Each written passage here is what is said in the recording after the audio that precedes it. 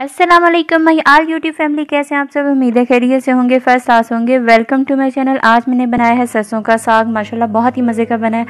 सरसों का साग हो, साथ में मक्खन हो तो क्या ही बात है। और सर्दियों में सरसों का साग, मक्खन और मकई की रोटी का कम्बिनेशन जो है, वो बहुत ज़्यादा पसंद किया जाता है। इसके साथ साथ अगर चावल की आटे की रोटी हो, बाजरे की रोटी हो तो मैं कहती हूँ साग का मज़ा ही दोबाला हो जाता है। सरसों का साग बनाने की जो रेसिपी है, वो मैं आपके साथ शेयर करने लगी हूँ। यहाँ पे मैंने चार किलो लिया है सरसों का साग। हमारे पास ये सुरख मिर्च है और मैंने साथ में क्या करना है कटिंग करने के साथ साथ इसके पानी को बॉयल होने के लिए रख दिया ताकि हमारे पास टाइम की बचत हो जाए। और मैंने ऐड कर दिया है यहाँ पर सुरख मिर्च इसमें। पानी को हमने अच्छे से बॉईल कर लेना है और साग की जो कटिंग है वो मैं आपको दिखाती हूँ। साग माशाल्लाह अल्लाह ताला की नेमतों में से एक बहुत ही प्यारी सी नेमत है। चेक करें कितना फ्रेश है ये और कितना ही मज़े का बनता है। तो इसको बनाने की जो आसान सी रेसिपी है वो मैं आपके साथ शेयर करूँगी। हमने कटिंग कर लिया, इसको मैं ऐड कर देती हूँ।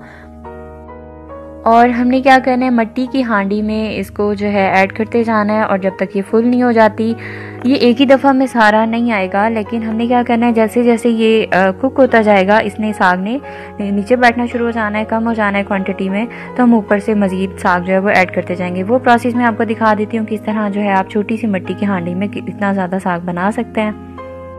मिट्टी के बर्तन में खाना वैसे ही बहुत मज़े का बनता है स्पेशली जब आप साग बना रहे हैं तो आप कोशिश करें कि आप इसे मिट्टी के बर्तन में बनाएँ। उससे क्या है कि इसका टेस्ट जो है बहुत मज़े का आता है। इस तरह हम बाकी का साग ऐड करते जाएँगे और ये देसी सा तरीका है साग बनाने का। बहुत ही मज़े का साग बनता है, आप भी ज़रूर ट्राई करें और आप मुझे कमेंट्स में बताइएगा आपका साग कैसा बना है। तो मैं इसे ऐड कर देती हूँ और इसको कुक करने का जो टाइम है बहुत मैटर करता है। जितनी देर ज़्यादा आप इसे कुक करेंगे, इसका टेस्ट उतना ही मज़े का आएगा। तो मैं इसे तकरीबन पाँच से छः घंटे के लिए कुक करने वाली हूँ। इसको मैं ऐड कर देती हूँ और बाकी जो साग रखा है हमारे पास, उसको मैं बारी बारी ऐड करती जाऊँगी। अभी इसको यहाँ पे तकरीबन आधा घंटा गुजर चुका है और आप देखें साग जो है वो कुक होना शुरू हो गया है। जैसे ही कुक होना शुरू हुआ है, उसमें और स्पेस बनना शुरू हो गई है हांडी में। तो हमने क्या करना है, बाकी जो हमारे पास साग रखा हुआ है, उसको ऐड करते जाएँगे। इसी तरह हमने पोर्शंस में साग को ऐड करना है और जितना हमारे पास साग है, सारा ही ऐड हो जाएगा। तो हमने इसको कुक होने के लिए छोड़ देना है। तो हमने बस पानी चेक करते जाना है, इसका पानी ना कम हो जाए। अगर इस दौरान में पानी कम भी हो जाता है तो आप पानी ऐड कर सकते हैं। अभी यहाँ पे मैंने तकरीबन सारा साग ऐड कर दिया है और इसको मैं कुक होने के लिए छोड़ दूँगी। इंशाल्लाह हमारे पास जो साग है बहुत ही मज़े का बनने वाला है। तो आपने वीडियो के एंड तक वॉच करना है और देखना है कि मेरा साग कैसा बना है और आपने भी ट्राई करना है और अगर आपको रेसिपी पसंद आती है तो वीडियो को लाइक ज़रूर कीजिएगा। यहाँ पे साग को छः घंटे गुजर चुके हैं और इसका कलर जो है वो बिल्कुल चेंज हो गया है। इसका मतलब ये हुआ कि हमारा साग ऑलमोस्ट रेडी है।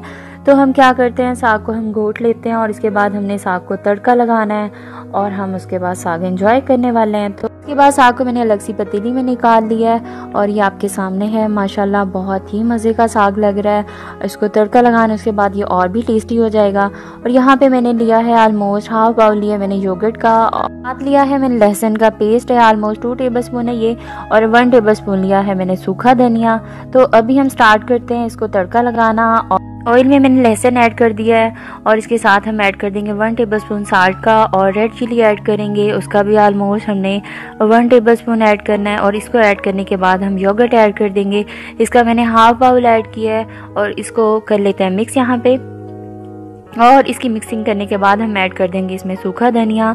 सूखा धनिया मैंने यहाँ पे यूज़ किया है आलमोस्ट वन टेबल स्पून तो आप चाहें तो योगर्ट की जगह पे आप टमाटर भी यूज़ कर सकते हैं। इसकी अच्छे से हम भुनाई करेंगे हम इसको यहाँ पे दो से तीन मिनट के लिए कुक करेंगे और जैसे ही हमारा मसाला रेडी हो जाता है, हम ऐड कर देंगे इसमें साग को।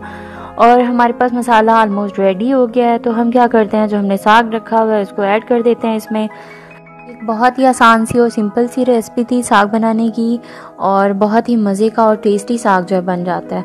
अगर आपको रेसिपी पसंद आई है तो आप इसे ज़रूर ट्राई कीजिएगा और मुझे कमेंट्स में बताइएगा कि आपका साग कैसा बना है और आप इसे अपने दोस्तों के साथ शेयर करें और मेरी वीडियोज़ को लाइक करना आपने नहीं भूलना। तो हमने यहाँ पर क्या करना है? ये जो मसाला है, हम इसको अच्छे से साग के साथ मिक्स कर लेते हैं। यहाँ पे हमने क्या करना है? पाँच से दस मिनट के लिए कुक करना है। जैसे ही हमारा साग रेडी हो जाता है, मैं आपको डिश आउट करके दिखाती हूँ। साग बहुत ही मज़े का बनता है और बहुत ही पसंद किया जाता है। तो इसको बनाने की आसान सी रेसिपी थी, उम्मीद है आप सबको पसंद आई होगी। आप भी ज़रूर ट्राई करें। ये अल्लाह पाक से दुआ है कि आपके खानों में बरकत दे, आपकी ज़िंदगी में आसानियाँ पैदा करे। आमीन। अपना बहुत सारा ख्याल रखिएगा, मुझे दुआ में याद रखिएगा। अल्लाह हाफिज़। Bye bye